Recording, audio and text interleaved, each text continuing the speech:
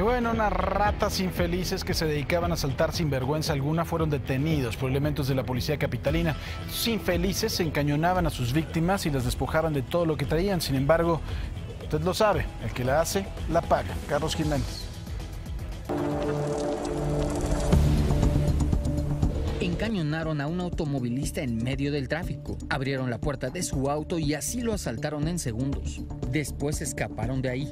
Son los alrededores del Aeropuerto Internacional de la Ciudad de México, el lugar por el que a diario circulan miles de personas que llegan hasta la capital del país. Y es el lugar en el que este par de ladrones en motocicletas se dedicaron a buscar a personas para asaltarlas. Quienes vigilan aquí son los policías de un grupo especial que patrulla en motocicleta para poder evitar el tráfico en la zona.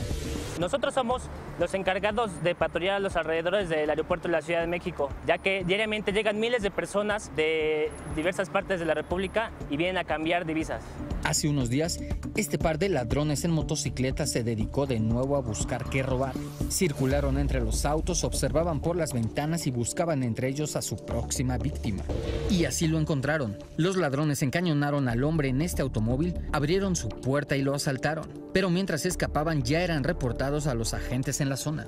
Vía C2 Norte nos reportan a, un, a dos personas a bordo de una motocicleta despojando sus pertenencias a un automovilista, por cual me aboco a la búsqueda, les cierro el paso, los cuales logran esquivarme.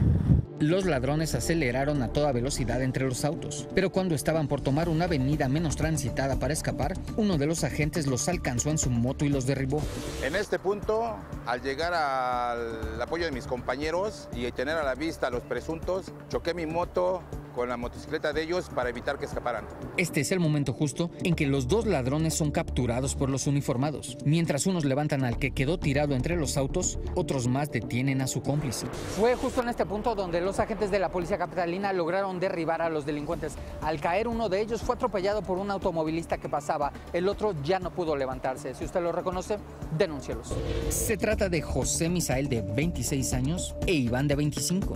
Tras ser detenidos, la policía les decomisó el arma con la que amagaban a sus víctimas. Es el momento en que los dos son levantados del piso y llevados a la patrulla. A pesar de su habilidad en la motocicleta y de que lograron escapar en un primer intento, al final los dos terminaron arrestados. Y es que el que la hace, la paga. Para imagen, Carlos Jiménez. Imagen Noticias con Paco Sea, lunes a viernes 5.50 AM.